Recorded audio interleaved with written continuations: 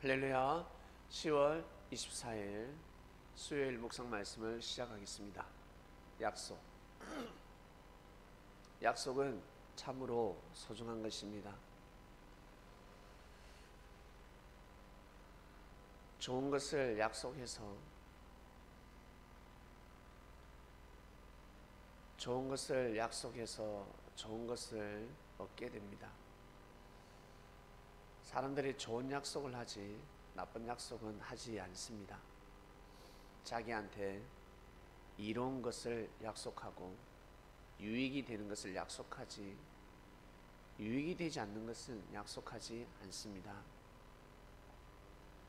이처럼 하나님께서 이 땅을 바라보시고 역사를 하실 때 다른 말로 언약을 세우실 때 하나님에게 이익이 가고 하나님에게 유익이 가는 것을 우선시 하시지 않습니다.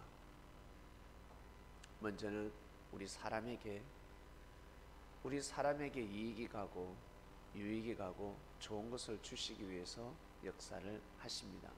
이것이 바로 부모의 마음입니다. 우리 부모님들이 자녀를 키울 때 자녀를 위해서 항상 약속을 할 것입니다. 엄마, 나 이거 해줘. 아빠 이거 해줘. 엄마 아빠가 볼 때는 너무 낮은 것을 원하고 있습니다. 그럴 때는 그래 알았어. 약속을 하면 나중에 더 좋은 것을 주시는 부모의 마음입니다. 자식은 하나를 달라 했지만 부모는 두 개, 세 개를 주십니다. 근데 어때요? 어떻습니까? 그 자녀들이 더 가치를 알고 감격 감사를 하던가요? 만족을 하던가요? 어때요? 만족하지 않죠? 처음에는 으아 으아 그러지만 좀 지나면 만족하지 않고 가치를 잃어버리고 소중함을 잃어버리고 부모의 마음을 헤아리지 못하고 또 원래대로 돌아갑니다. 자신의 성격을 벗어나지 못합니다. 자신의 스타일을 벗어나지 못합니다. 그러나 부모는 끝까지 참고 인내하며 그 하나밖에 없는 자식을 인도합니다. 세례야는 참으로 많은 기도를 했습니다. 어마어마한 기도를 했습니다. 얼마나 공고했겠습니까? 하나님의 땅, 하나님이 축복하신 땅이 로마의 속국이 되었고 로마뿐만 아니라 주변 국가로부터 압박 때문에 숨을 쉴 수가 없습니다. 그나마 로마가 로마의 속국이 되었기 때문에 이스라엘은 그나마 숨을 쉴 수가 있었습니다. 참으로 힘든 민족이었습니다. 어떡하지? 우리가 마음껏 하나님의 축복을 받아야 되는데 이 축복이 끝이 아닌 것 같은데 분명히 하나님께서는 이 땅을 사랑하신다 하셨고 축복을 주신다 하셨고 아브라함에게 이삭에게 야곱에게 하신 말씀이 분명히 이루어질 것인데 우리가 이렇게 속국으로 살아가야 된단 말인가?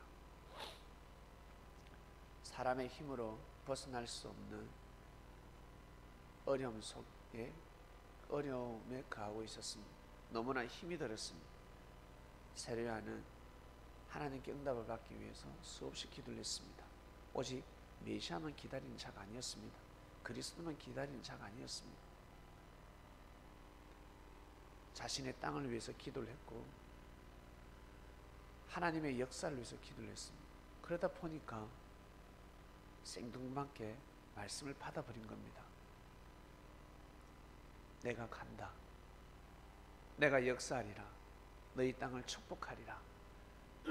생생하게 응답을 받게 되고 내가 그리스도 메시아를 보내리라. 선지자를 보낸 것처럼 내가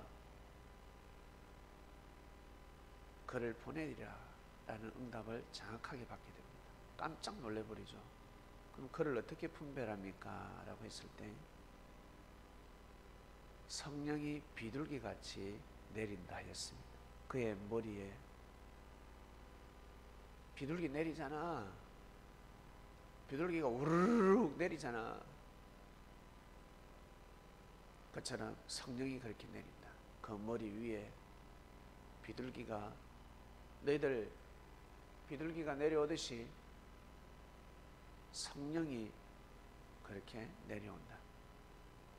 네 눈으로 보게 될 것이다. 결국 세례요한은 하나님의 말씀대로 성령이 비둘기같이 내려오는 모습을 보게 됩니다. 세례요한은 이미 약속을 했습니다. 내가 그를 만나면 마음과 뜻과 목숨을 다해서 지키리라. 왜? 세례요한은 힘 있는 사람이었기 때문에 목숨 걸고 지킬 것입니다. 내 목숨보다 더 귀하게 여기며 그를 지킬 것입니다. 분명히 약속했습니다. 분명히. 그래서 그 수많은 사람들 가운데 하나님은 세례요한을 뽑으셨고 세례요한에게 하늘은 약속을 지키셨습니다. 세례요한이가 얼마나 좋았겠습니까? 얼마나 감사했겠습니까?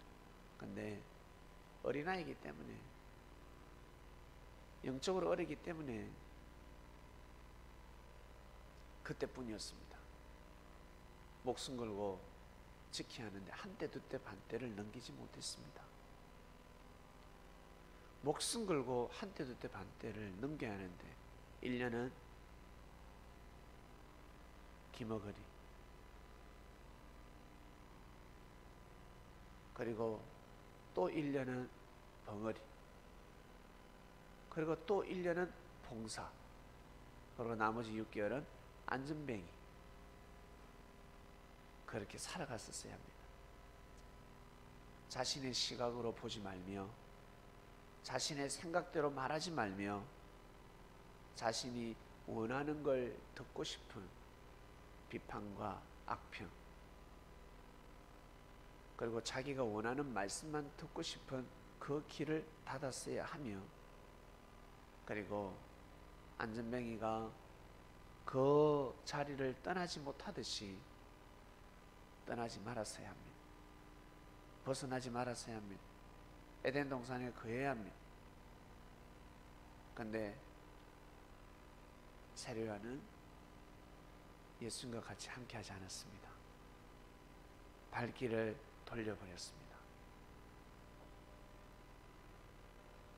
하늘은 약속을 지켰는데 세례요한은 약속을 지키지 못했습니다. 만약 그리스도의 역사가 이렇게 될 줄 알았더라면 세례요한은 발길을 돌리지 않았을 것이며 실족하지 않았을 것입니다. 이렇게 될 줄 알았더라면 그의 역사가 그를 통한 역사가 이렇게 커질 줄 알았더라면 진짜 그의 입에서 선포되는 말씀이 온 인류가 듣고 아멘하며 영원히 이 땅에서 예수라는 이름이 울려 퍼질 줄 알았더라면 그렇게 하지 않았습니다. 그렇게 할 수 없습니다. 절대 그렇게 할 수 없습니다. 몰랐습니다. 왜 몰랐을까? 그렇게 은혜를 받았는데 하늘이 눈을 가려버린 겁니다. 하늘이 더 이상 축복을 해주실 수가 없었던 것입니다. 이것이 너무나 안타까운 현실이었습니다. 그래서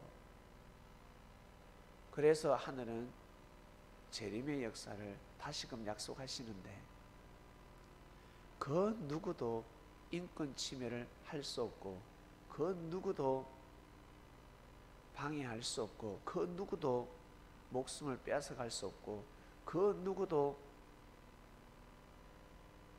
그리스도의 역사를 막고 방해하며 테러할 수 없는 때에 맞춰서 역사를 감행하십니다. 하늘은 이 약속을 정하셨습니다. 그리고 수많은 사람들이 울고 불고 울고 불고 기도를 하고 기도를 하고 해도 하늘은 응답하지 않으셨습니다. 그 한 사람을 위해서 그 민족을 위해서 하늘은 응답하지 않으셨습니다. 재림의 역사를 시작하지 않으셨습니다. 하시지 않습니다. 하시지 못합니다. 물론 예수님 시대 때 또한 하나님께서 그 때를 정하셨지만 재림의 때는 더욱 합니다. 더욱 더할 더욱 더하게 역사가 진행됩니다. 그래서 마음을 먹는 만큼 마음을 가지는 만큼 내가 원하는 만큼 할 수 있을 만큼 엄청난 축복과 사랑을 받을 수 있습니다. 그러한 땅이 어딜까? 어느 땅에서 하나님께서 약속하신 재림의 역사가 일어날 것인가? 재림의 비밀이 무엇일까? 예수님은 어떻게 오실까? 예수님이 구름 타고 오실까? 오시면 불로 심판하실까? 이 땅이 타락했는데 기독교가 죽었고 교회가 죽었는데 하나님이 심판하실까? 자기 눈에 보기에는 타락을 했고 부패되었지만 하늘 보시기에는 아닌 것이 많습니다. 옛날에는 사람들이 더 부패되었고 더 악했습니다. 지금보다 더 악했습니다. 지금 사건 사고가 많잖아요. 예전에는 더 많았습니다. 드러나지 않았을 뿐입니다. 미궁의 사건이 얼마나 많은 줄 아세요? 미제 사건이 차고 넘쳤습니다. 과학이 발달하기 때문에 그나마 지금은 숨 쉴 수 있는 그러한 세상이 되었습니다. 과학이 우리를 보호하며 의학이 우리를 보호하며 학문이 우리를 보호하고 이 세상의 법이 우리를 보호하고 있습니다. 너무나 너무나 축복받은 땅에서 살아가고 있습니다. 너무나 너무나 귀한 땅에서 살아가고 있습니다. 하늘은 모든 약속을 다 지키셨습니다. 하나님이 하신 약속은 전부 다 지키셨습니다. 이제는 우리 차례입니다. 하나님은 더 이상 축복하실 수 없을 만큼 축복을 하셨고 우리 개개인에게 때에 맞게끔 약속과 은혜를 내리시고 지키셨습니다. 이제는 우리 차례입니다. 우리가 어떻게 하느냐? 새벽도 보세요. 새벽 기도를 하고 싶다. 그러면 우리가 일어나야 되는 것입니다. 우리가 일어나면 새벽 기도 하고 싶은 사람들이 일어나면 새벽 기도를 하는 것입니다. 내가 하면 되는 시대가 왔습니다. 옛날에는 새벽 기도를 하려고 해도 할 수 없는 시대가 있었습니다.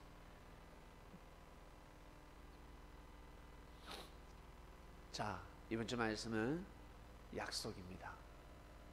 약속. 세례안이가 그토록 기도하고 염원하고 기다리고 기다리는 때를 맞이한 것처럼 우리는 그 때를 맞이했습니다. 그러니 얼마나 많은 축복을 받을 수 있을 것이며 그 축복이 아마 어떤 축복인지 가히 상상도 할 수 없습니다. 그리스도의 역사가 전 세계로 번져갈 줄 알았더라면 진짜 이렇게 될 줄 알았더라면 제자들은 그렇게 역사를 띄지 않았을 것입니다. 더 아마 더, 더 아마 잘했겠죠. 세례와 그리고 사도 바울 이 두 사람이 빨리 마음을 먹었더라면 보다 더 빨리 마음을 정하고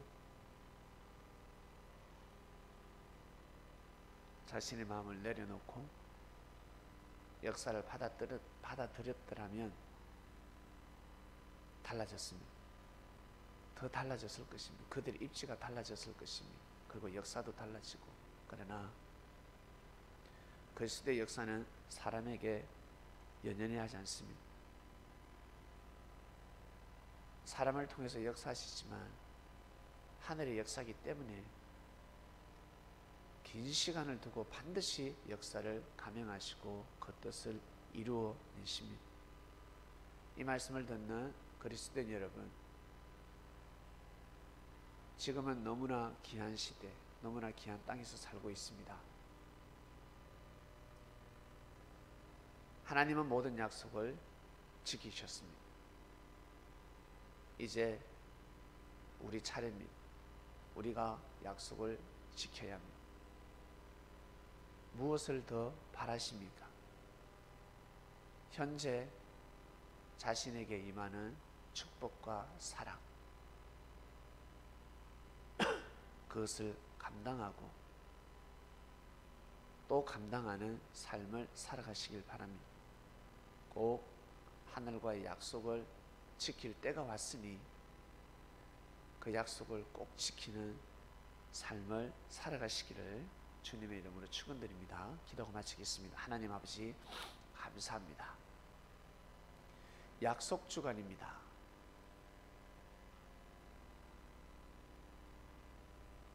세례요한을 통해서 우리가 은혜와 깨달음을 얻습니다. 수많은 기도를 했을 것이며 하나님께 매달린 세례요한 그러나 막상 하늘의 약속이 이루어졌을 때 감당하지 못했습니다. 그뿐입니까? 수많은 자들이 그렇게 삶을 살았습니다. 우리도 그렇게 살아왔고 지금도 그렇게 살고 있는 자도 있습니다. 사랑하는 하나님 아버지,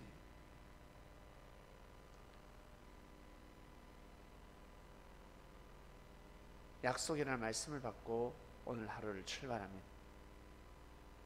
하늘은 약속을 다 이루셨습니다.